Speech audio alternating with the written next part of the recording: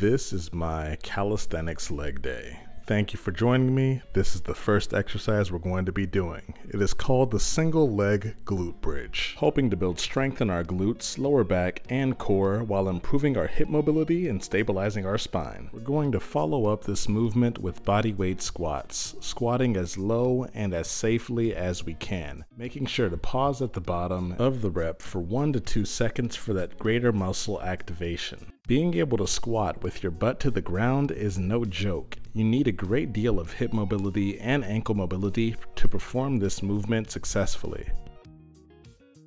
For our last warm-up exercise, we're going to do lunge jumps, sticking one leg back and then driving it up into the sky as we jump off with the opposite leg. You will be surprised the amount of explosiveness you build from this movement and how difficult it can be no matter your fitness level.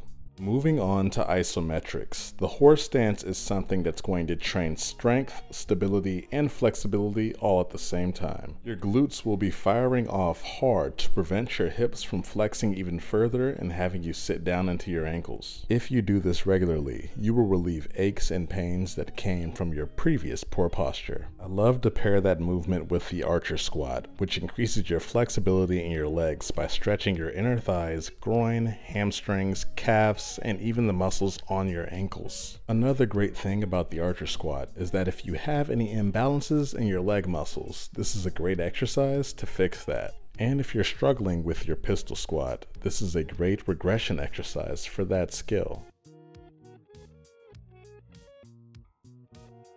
Now it's time to lunge, but we're going to do it in the reverse manner.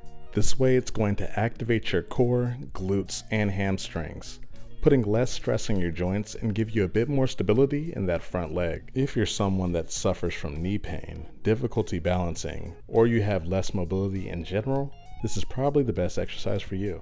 Next, we're going to be looking for some unilateral execution here with these split calf raises.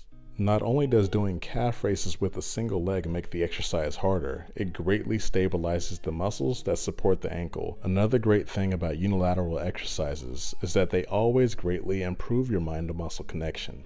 And since we're already in that position, let's go ahead and bang out some Bulgarian split squats. And yes, I'm sure you've heard from other programs, this one is brutal. But just like with this entire workout plan, the benefits outweigh the discomfort. Fully extend that leg pointing your toes and make a pistol and what we call the pistol squat. The pistol squat is so difficult because it requires a great deal of strength, flexibility, and balance. It strengthens practically every muscle in your leg, and if you're unable to do one, congrats, you're in great company.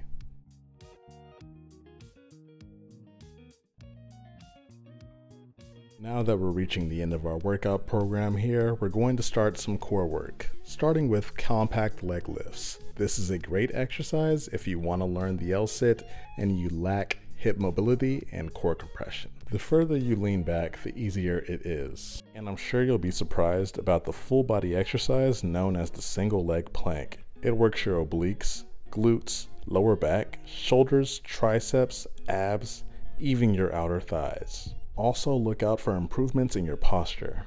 Ending this leg day workout with hollow body holds. You know how important the hollow posture is in calisthenics. We're going to make sure our legs and shoulders are off the ground while we keep our lower back pressed into the ground. Strict form only.